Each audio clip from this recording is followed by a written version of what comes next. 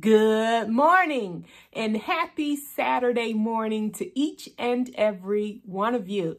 It is now time for the First Baptist Church of Tarentum, Pennsylvania's Thought for the Day.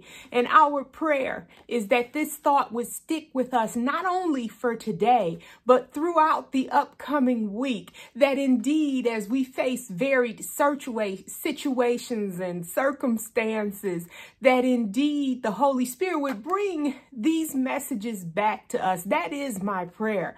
And also, we need to write these down and post them somewhere so that we'll have them during our times of need to just remind us of what thus saith the Lord. Now, I would recommend that we write down the chapter and the verses in the book as well as the thought for the day because the thought for the day is what the Holy Spirit led me to glean from that word on that day. And it very well uh, may speak to you differently.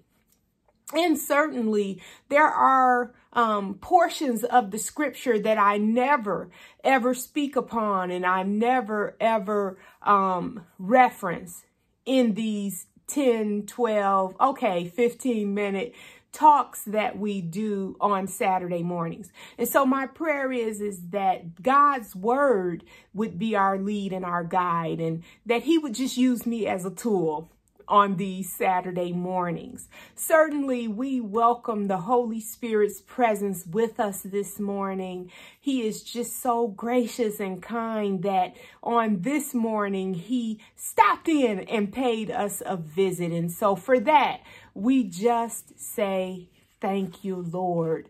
Please touch, please move in the way that only you know how. Yes, yes, we pray in Jesus' name. This morning's thought for the day, we are continuing into the Exodus, you all, and I'm getting more and more excited every week because many of us know where this narrative is heading and that we're taking a step-by-step approach to getting there. And I just love it. I love that we're not in a hurry. I love that each and every week we can bite off just a little bit and push on a little bit further. So praise God for that. This morning's thought for the day comes from Exodus, the 12th chapter, verses 37 through 42, picking right up where we were last week. Exodus, the 12th chapter, verses 37 through 42, and it reads, the Israelites journeyed from Ramses to Succoth, about 600,000 men on foot besides children. A mixed crowd also went up with them, and livestock in great numbers, both flocks and herds. They baked unleavened cakes of the dough that they had brought out of Egypt. It was not leavened. It was not because they were driven out of Egypt and could not wait nor had they prepared any provisions for themselves. Ooh, you talking about faith. The time that the Israelites had lived in Egypt was 430 years. At the end of the 430 years, on that very day, all the companies of the Lord went out from the land of Egypt. That was for the Lord a night of vigil to bring them out of the land of Egypt. That same night is a vigil to be kept for the Lord by all the Israelites throughout their generations. Amen. Oh boy. So much in this text. And I, you know, you all know that I'm strange. I'm odd. I love to learn every time I read God's word, it just inspires me that much more. And I pray that it does the same for each of you. This is a good word, you all. It talks about, first of all, how many people went. That is amazing to me. You talking about miracles. There were about 600,000 men on foot besides children. And now you know they didn't count the women either. So you're talking about over a million people leaving Egypt. Just imagine the scene as they take off walking. How long that caravan must have been as they were leaving Egypt. What that scene would have looked like. Let's use our sanctified imaginations since none of us were there and we don't have any photos or any other way to memorialize other uh, this event other than for us to just consider it in our minds. All of these people, a million people, you all, we don't get a million people in any one place at the same time here today, in today's times. So I even think our envisioning a million people walking, leaving Egypt is something that our our minds can't even understand or or make sense of in any sort of way. A million people walking and leaving Egypt a mixed crowd. They had their livestock in great numbers, both flocks and herds. And you remember that they took all the stuff from the Egyptians as well. The Egyptians had given them silver and gold and other livestock. I mean, they left with so much when they were marching away, away from Egypt, which quite frankly, and we'll get there in another week or two, um, is why Pharaoh went back after them. Because he probably looked around and was like, we have lost our minds to allow a million people and all of their flocks to leave. Who's going to do the work around here? But I'm ahead of myself and we'll get to that when we get to that. So they left. Um, following up on last week's message, when they left, um, they took unleavened bread because the leaven has to, to rise baker's terms. It has to rise. And they didn't have time. They couldn't wait. They couldn't wait because you remember last week we talked about that. Uh, I, I, believe the thought for the day was I told you to be ready uh, because we uh, saw the Israelites being warned over and over again to do what needed to be done to be ready to go, to make preparations for the deliverance of God. Then we see, and we'll come back to that briefly. And so then we see that they didn't make any additional provisions for themselves. They took what they had and they left.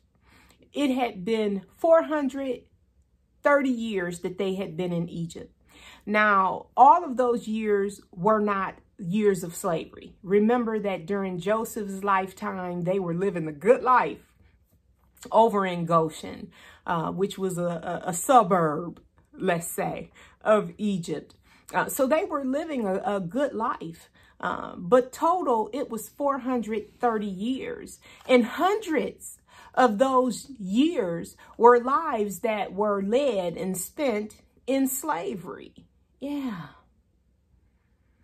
How many years that they must have been waiting, waiting for the deliverance from God. They were praying and they were crying, asking God to deliver them from the thing that had them bound. We do the same thing. It might not be for hundreds of years, but certainly we pray and we cry and we also wait for the deliverance of God. And there's lots of different things that we're praying and crying and waiting for. And it's often different for each of us. We, we're facing uh, difficult times in our lives because we all do. And, and I can say that with confidence that there is something in our lives that we are struggling with, that we've been praying about, that we've been seeking God's intervention for. And certainly during those times of praying, quiet, crying, and waiting, as we've talked about throughout these scripture texts, we should have been preparing and we should have been getting ourselves ready so that when the time comes for us to move, we will be able to take advantage. When God opens the door for us to walk through, we ought be ready to go. There is no time for us to, to be fearful. Um, there should be no hesitation um, because we don't know how big that window is, how much time we really have to get moving. When God opens a window or a door, we got to get through it. We have to get through it and, and move when he says move so that we could take advantage of that situation. Um, I can remember, oh my goodness, I'm going to say this because it's about my husband and I'm choosing to. Um, before we started dating, when he reached out to me to start a more personal relationship instead of a business relationship. Many years later, after we were married, he told me that he felt that he had to do it right then. He felt led to do it, and that if he did not do it, he was going to miss his opportunity to do it. He felt compelled to do it right then. And I praise God that he did and that he was obedient to the, what was only the Holy Spirit. We have to do the same in our lives, you all. When God presents that opportunity, whether it's to start a new business or take on a new job or move to a new home or even move to a new state and city, we have to move when the door and the window has been opened for us. And I praise God for that. I'm aware of some of your moves, and I know that you did just that. And I praise God for it. You know who you are. I praise God for that. No fear, no hesitation. Walk through the door because we've been the ones praying and crying and waiting for it.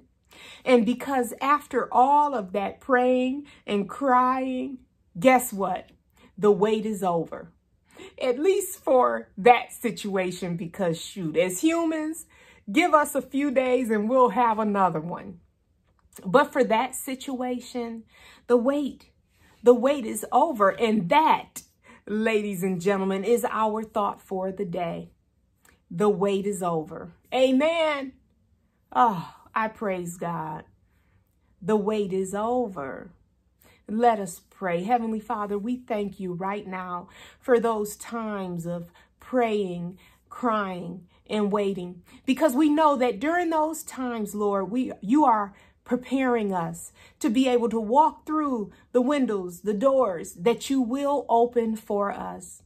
My prayer, Heavenly Father, is that we would be able to see you in the midst, that we would be patient in our waiting, diligent in our praying and without fear or hesitation when it's time to move. Heavenly Father, our prayer, Lord Jesus, is that you would cause us to recognize and know that the wait is over.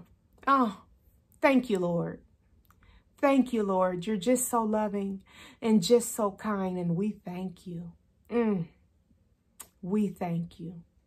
Heavenly Father, we lift you up and we praise your holy name on this morning.